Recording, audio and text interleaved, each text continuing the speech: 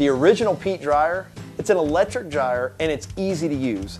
All you gotta do is put your boots on, plug it in, and walk away. It's that simple. No matter how wet it gets, it's gonna dry anything overnight. So if you're out and you get your boots soaked, you're still gonna have them dry in the morning and they're gonna be warm.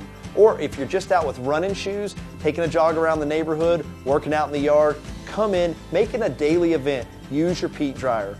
Put your shoes or boots every day on. It costs pennies a day to leave the dryer on all the time. Well, I get asked all the time, how does it work?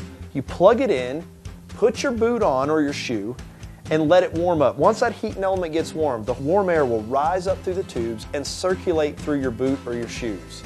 It'll basically dry anything overnight, no matter how wet you get it. And first thing in the morning, when you put your boots on, they're warm. The original PEET shoe dryer, made in the USA since 1968.